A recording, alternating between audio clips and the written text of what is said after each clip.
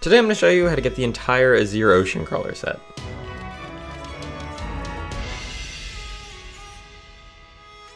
First things first, this is the Azure Ocean Crawler set. It is a reskin of the Ocean Crawler and Deep Ocean Crawler set. It is an entire set, so clothing, equipment, ship set, all of that, and it can be purchased from the normal vendors. So the ship set can be purchased from the shipwright, the equipment can be purchased from the equipment vendor, the weapons can be purchased from the weaponsmith, and the clothing can be purchased from the clothing vendor. But to purchase any of it, you will need one commendation, and that commendation is Hunter of Trophy Fish. First of all, if you want to track this, go into your menu, Pirate Log, Reputations, click the arrow twice and go to the third page, Hunter's Call, second page again, and then Merrick's Accolades, and it should be right here. It's Hunter of Trophy Fish, this one. Now, to get this, you have to deliver 25 trophy fish to the Hunter's Call. Now, this is actually pretty easy to do once you know what you're doing.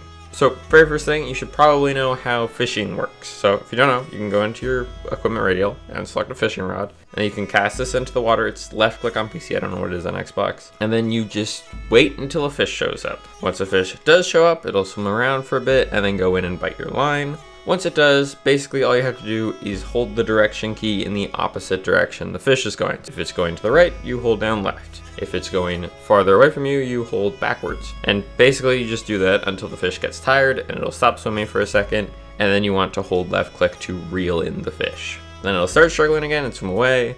And it'll just kind of keep doing this until eventually you get the line close enough where you just reel it in. Then make sure you take the fish off the fishing rod by holding the interact key. Because if you hit left click while the fish is still in the line, it will actually just throw the fish back and you'll lose it. All right, now that you know how to fish, we're going to talk about trophy fish. Now, trophy fish are essentially just bigger fish. Trophy fish sell for more reputation and gold and are a bit harder to catch. They fight for longer and they don't rest for as long.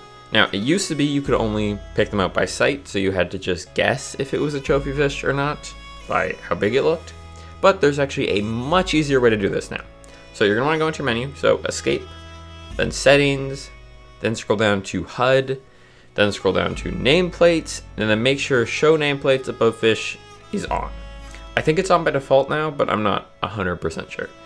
This basically makes it whenever you're fishing, there'll be a nameplate telling you exactly what it is. So basically, if it has trophy at the start of the name, that's what you need to catch. And again, this is basically the same fishing mechanics, but slightly harder than a normal fish. All right, now once you've caught your trophy fish, you're gonna wanna look on the map for a sea post. Sea posts are these tiny little rocks with docks and there are quite a few scattered on the map. Now, instead of listing all of them, I'm just going to put them all on screen. So these are all of them and their map coordinates. Uh, so if you need to find them, these, these are all the sea posts. You're want to head to one of those, and then you're to want to go up to the dock and give your trophy fish to the Hunter's Call representative, which they're always the one on the dock here. Give it to them, and that's one out of your 25 trophy fish down. Basically, just rinse and repeat this until you have your 25 done. Quickly, we'll just get into some tips to make this a bit easier. First, it is significantly better to do this with a crew as you theoretically will catch four times as many fish. The bigger the crew, the better, though it really isn't that bad doing this solo either, but crew is better. Also, it doesn't matter who sells the trophy fish, just as long as someone in your crew does.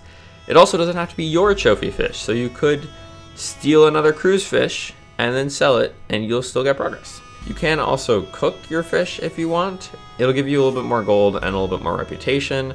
Basically, to do this, just go down to your ship, find the stove, put the fish on there, and then wait till the eyes go fully white.